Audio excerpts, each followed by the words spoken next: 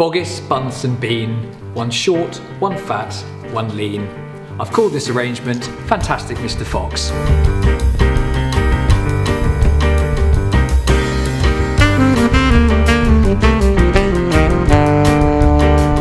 We've got some lovely pale pink tulips grown by Sue Lamb in Spalding. Some lovely pink Lisianthus, perfect to trim down for a jam jar later in the week some fabulous eryngium, which works very well as a dried flower, some deep red original love lilies, some alstroemeria that will last weeks and weeks, some glorious reed-like irises, all finished off with a dash of parvifolia. Snip an inch off the end of all your stems and use your flower food. Start by facing your lilies opposite each other in the vase.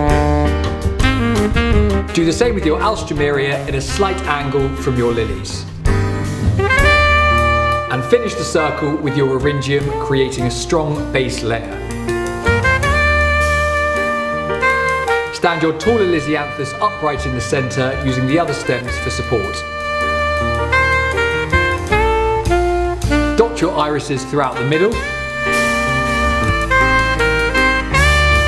and tuck your tulips evenly around the edge. They'll grow up to 10 centimetres in length, so don't worry if they look a bit short.